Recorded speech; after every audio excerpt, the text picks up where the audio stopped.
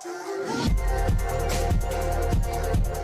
everyone, this is uh, Antonio from uh, Random Stuff channel and um, I'm back again with another video on OneDrive. Microsoft OneDrive. This is uh, a really good solution which I'm using at the moment, which I've used for many, many years, but I've recently signed up to their $79.99 package for the year, which saves you £16 as opposed to the monthly $7.99 um, option. Now, once you've installed it, and if I just go to view online, uh, I've already signed in. As you can see, I've got, um, okay, so let's just wait for this to, to load. My connection is not the greatest at the moment on this uh, machine. Um, I've barely got 15 megabits, I think. Um, so this is the contents of this OneDrive, which uh, personally I'm calling OneDrive number two. Um, to give you some background information, I've been using Amazon um, Drive for the last um, year and a half, maybe two, well, two years almost now, and um, it's been very good. Um, I've had one terabyte for 59.99 for the whole year which was good value at the time, and uh, I think it's still pretty good value. But um, when I saw the offer that uh, Microsoft um, came up with, which um, let me see if I can bring up on the screen. As you can see, the page is just loading now. Um, these these were the options that were out there, and for me personally, seven pound ninety a month, um, which you know is is very good value. Um, you know, Amazon, I believe, are moving to um, similar kind of price for one terabyte or two. I'm not too sure. In fact, let's just quickly check what the Amazon Drive is. Yearly cost. Let's see what what it comes up. I don't normally use Bing, by the way. I usually use uh, Google, um, but this is the second account that I'm using on this machine. So when you go into your accounts here, I possibly have two. Well, I've got two at the moment, but I will probably have three, four. Um, unlikely I'll have five. I'll probably give one to a family member. So uh, let's just quickly have a look at the Amazon. Uh, oh, it was there, wasn't it? Let me just go back. Oh, I just went too quickly forward. As you can see, you got 11.99 for photos and 59.99 uh, a year for everything, which is what I had, which is really good value. Um, now, 79 pound a year is the one that I think it's out there now. Let me just quickly click on that. So you can see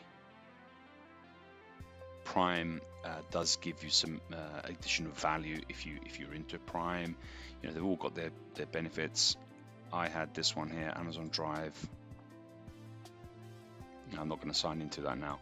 Anyway, the point is is that value for money. I thought Microsoft's um, option here of Office 365 um, it gives me Outlook, um, you know, for my business account. Um, I've got I've got Word, yeah, always the latest. Excel, um, OneDrive, which is fantastic, and also um, OneNote, which is one of the main apps that I use, as, as you can see up here. That's one of my favorites for uh, cross-platform sharing of files, documents, and uh, and what have you. Now the the option that I went for, if you click on buy now, if you if you spend, I think if you pay seventy nine ninety nine, as I mentioned earlier, I think it's just eighty pounds for the year. They give you five accounts that you can use, and you know each account will have uh, one terabyte.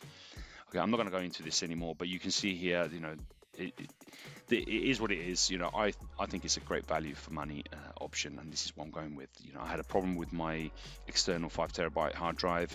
I've recovered um, most of the stuff using Recuva um, from Piriform. Um, uh, so I've got most of my files back, and now I've stored them into uh, a drive, which is my one terabyte hard drive spinning disk, which is quite reliable at the moment, but I don't want to rely on that forever. So let's um, let's quickly jump into the actual purpose of the video. Okay, so my point my point that I'm trying to sort of um, uh, make and, uh, and, maybe help somebody out there who's having a similar issue is um, I have lots of files that I want to save. Uh, uh, so, okay, the point I'm trying to make is I have many files I want to save. I've got a lot of uh, snapshots, uh, virtual boxes, as you can see, 29 gigs. You know, I've got lots of uh, different, diff different um, huge sizes of files that I want to save. And uh, I want to keep them safe somewhere online. I don't mind keeping them online. I'm quite happy with that. So this solution is very good. The point that uh, OneDrive is gives you one one account for one terabyte, which is probably enough for me now. Um, but I like to separate it. So I've created a separate uh, Microsoft account to log into this Windows 10 machine. I've logged in. I've uh, I've uh, hooked it up to to a different. Let me just go into the uh, more options and settings. I've gone into the options and I've linked it. I've linked it to my second uh, Gmail account that I've um, created um, a, so I've created um, a Microsoft account for that Gmail. So this is my second Gmail account that I've linked to Microsoft. I have five in, in total, but I'm only I'm only going to use four. So this one here is basically my second OneDrive. So I have to create a new, uh, as far as I know, unless somebody can tell me differently, I had to create a new account on Microsoft. Um, uh, and I had to create a second user for this machine so that I can create a new OneDrive that I can upload uh, my files because my main account, which is um, you know the the one where I have all my apps and everything, is basically um, for for different kinds of files. Everyone has their own ways of archiving stuff, right? So the the point is is that um, if you go into choose folders, my main concern was make sure that nothing is going to, to be syncing on this machine. So I've actually put here, make all files available. No, nothing is going to be available on this machine on this hard drive. And if I just click OK on that, the point of the, the purpose of this is I don't want um, I don't want this drive here, my C drive, my main one terabyte SSD drive, um, to be used um, as a cross-reference and uh, syncing uh, drive with OneNote, uh, with OneDrive. So um, you go to choose folders and you make all files uh, available just online. So that's that's done and if I just click OK on that. So as you can see here I've got uh, six folders and one file. And I'm gonna illustrate the, the, the best way that I can do this myself. Okay so now what we do is we we go into the OneDrive uh, here. And you can see the OneDrive folder is empty. There's nothing there. Now if you create a mapped drive like I have down here, you've got all your folders that you see below this window. So you've got one, two, three, four, five, six, and a file. As you can see, it's the same things in, in here that you've got here. But on my local machine here on the C drive, I've got nothing syncing, as I showed you just a few moments ago. Apologies if I'm repeating these things over and over, but I think it may be helpful for people who are not so um, comfortable in, in you know in using uh, Explorer and you know syncing files to OneDrive. You know, so I'm I'm repeating things over just to to help those who, who may need to have um, uh, you know more explanation on on what's going on here. So uh, I'm, I'm happy with the way it is now. So how do you create this OneDrive here? Okay, so let me just show you how you do that from scratch. So you, you open um, a new file explorer. And if you just if you just go to PC, computer, um, there's several ways in how you can get to different places in Windows. But anyway, this is how I got to it. So you just go to uh, my computer. So you go to computer and then you do map a network drive and you click on Map Network Drive. Okay, I, I chose the letter O for OneDrive, as you can see there. And, and basically you need to uh, put a, a, special URL in there, which I'm going to put in the description below for you to copy. So if I just open my OneNote that I made here, um, what you put in here is uh, essentially this URL here, I'm just going to copy that and paste it. And then followed by your CID, whatever that is, goes there. Okay, so that's all you do. Um, let me just close that. I'm not going to add it again because I've already added it, but I'll show you how to get the, the CID that goes in that end of URL. So let me just minimize. When you get to this page here where all your files are on OneDrive Online, you just click in the address um, um, bar there and you just grab your CID, which is this here, which is blurred on this uh, machine. As you can see, I've blurred it out, but you know, yours is going to be different anyway. And um, so there's no, this, this uh, so basically this is um, uh, a unique um, ID for your machine. So you copy the CID number here you, and you keep it safe and you add it at the end of that uh, string. Once you've done that, your drive connects as so and you can right click on it and rename it to whatever you want. So I've renamed it to OneDrive 2 because this is my second OneDrive where I'm going to upload my snapshots and uh, larger files um, and, and, whatever. Now the limit of uh, file size on OneDrive I believe is 20 gigs. So some of my snapshots I'm going to have to chop up into um, you know segments. So for example, if I go to my um, hard drive here, okay, so here I've got two uh, files where I will uh, basically um, you know have to zip them up, and then once they're zipped, I will um, actually cut them into chunks. Uh, make sure I have the um, the, the correct checksum of uh, of each, and um, and then save them into uh, appropriate folders and just upload them as, um, as zipped files which can then be rejoined together again there's a lot of applications out there uh, on uh, how to split and join files and, and they're all pretty pretty good uh, I, have used HJ Split and many others in the past. And I've actually got a new one that I'm using at the moment. I can't remember the name of it now, but uh, they all work uh, more or less the same. Okay, so um, so that's that. That's how you create that hard drive. Now, the the thing that uh, i should mention is that um, when you when you actually uh, and I'll put some screenshots on on here for you. Um, when you when you actually connect to that uh, URL to create your OneDrive um, mapped drive, if I just go back to my my OneNote, which is uh, yeah. So once you've connected to your CID, with this URL, which is a secure connection, as you can see. You will actually um, be now because I have um, you know two-step authentication go going on. Um, I will I will you know have more issues than somebody who who doesn't for security reasons, obviously. So you'll need to create an app password to be able to to log into this um, OneDrive um, that we've created. Let me close that. Sorry if this is a bit confusing for anyone. Uh, if you have any questions, just put them down below, and I'm sure I'll reply to them as soon as I can, or somebody else will.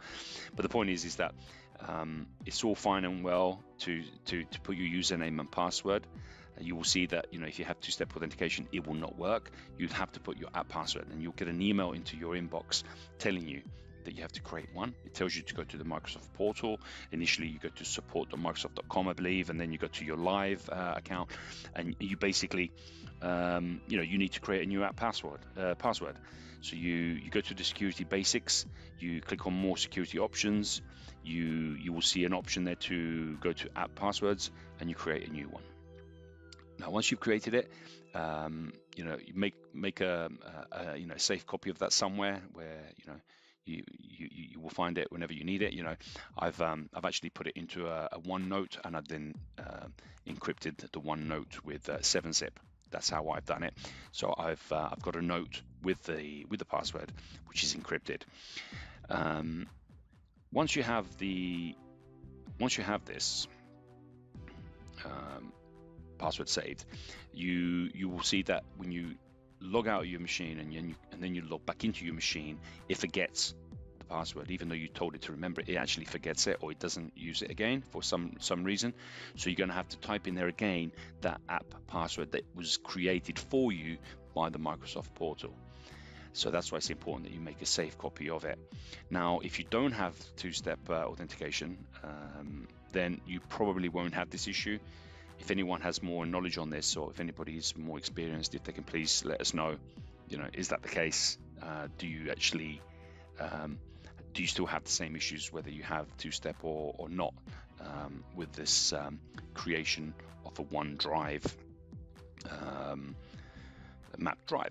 Now, you know, I love this solution because you know I can use five terabytes effectively. Um, you know, and once the files are synced, you know, I don't I don't go onto the second you know account on my machine often only when I have something big like an image or a, a snapshot of uh, one of my Linux machines. Uh, I'm using uh, MX Linux at the moment which is my favorite distro. It's very very good. Um, um, really really impressed with it and it can be a daily driver for me personally. I've got lots of apps on there as well. So sorry for digressing but um, I think um, I've said all that I needed to say on this um, uh, issue. I hope it's been informative. Uh, it's probably not not um, uh, very fluid as I had intended, um, but um, yeah. Uh, the you'll probably find that the name you give the the actual drive will will get lost as well. And for me personally, it happened twice, and then on I think on the second or third time, it just kept the name and it didn't change it again. So I've left it as OneDrive 2 with the letter O for the actual drive. So now, just to show you uh, in action, if I go into my hard drive and if I just get, let me just get a, one of these apps here. So if I get this um, uh, OO Shut Up file, which is a really good application. If you don't know what OO Shut Up 10 is, look it up and I've just dragged it into my OneDrive mapped drive. Okay, now that's created a shortcut to that. Hmm, that's interesting. I didn't want a shortcut. Let me just do copy. Copy and then paste.